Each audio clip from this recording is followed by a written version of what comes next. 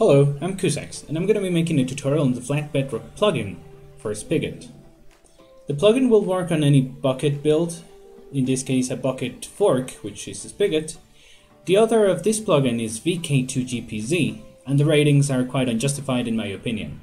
I tested the plugin and it worked flawlessly, and that is why I'm making this tutorial. So, down here you will see a lot of bad ratings. This is probably people that didn't know how to configure this, and that's exactly why we're making this tutorial. First things first, we're gonna download it. It's a very easy lightweight plugin, so it's beautiful. We're gonna bring up our server. This is either your panel or your server, however you have set it up. And you're gonna drop it into the plugins. If you have already generated the world and you're looking at your already generated chunks, you're gonna see no change and I'm gonna show you that right now. We're gonna start it up with the plugin in the plugins, as you can see here and it's gonna load it.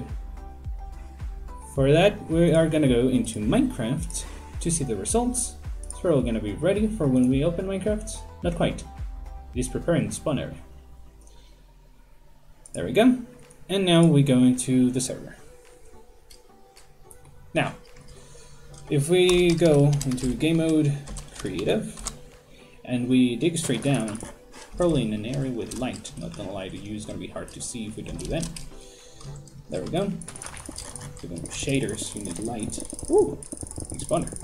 Alright, if we go down in our already generated world, bedrock is bedrock. It just acts like bedrock.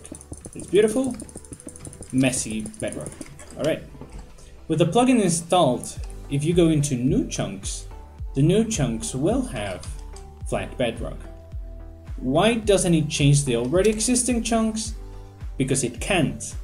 It is a plugin. Mods might have ways of doing it, although I haven't seen a single mod that does it, but plugins surely, at least so far, can't. So, in these new chunks, hopefully it's far enough. I think we're not far enough considering that I have 16 chunks with rendered for my server, but we're gonna check it out. Bedrock should be flanked. The normal configuration makes it okay. Give us water, that's beautiful. Give us lava, that's great. this is gonna be... There we go. Three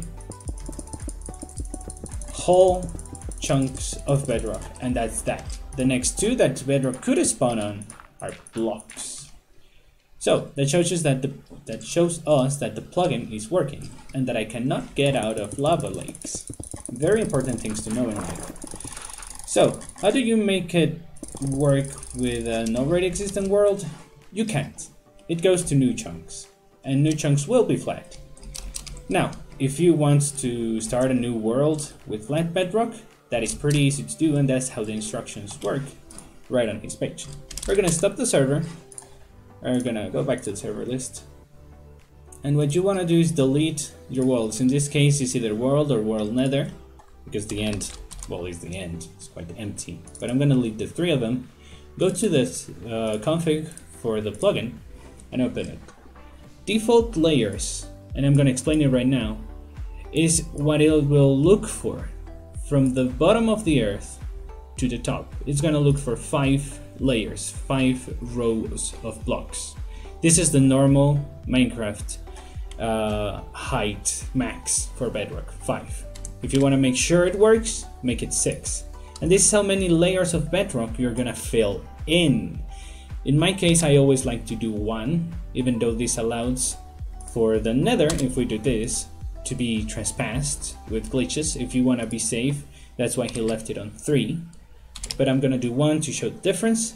And this is the worlds you want it enabled on. Here you would list your extra worlds if you have any world um, dimensions and stuff plugins.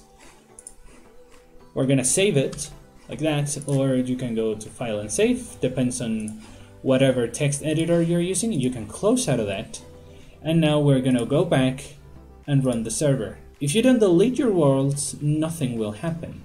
Now if we close this and start up the server, it's gonna take longer of course because it's creating the new chunks. But now all these new chunks will have the proper flat bedrock that the plugin is supposed to create. Now we're gonna see here that we're preparing the first area, which is Minecraft Overworld. And it's done. Now we're making the nether. This should be way faster. That's done. In the end, it's nothing. it's beautiful. Now when we go into the local server, we make ourselves into creative again, game mode, creative, and we go to somewhere with light, as previously stated, it's easier to see. Oop. My finger is lit. We're gonna be able to see that now. Oh, we didn't even notice because there is only one layer of bedrock. The plugin does work.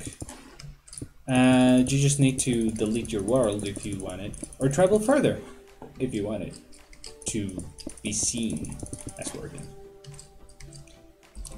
That is all for right now. Thank you very much for watching. Hope this helped anybody that was doubting on the plugin per se.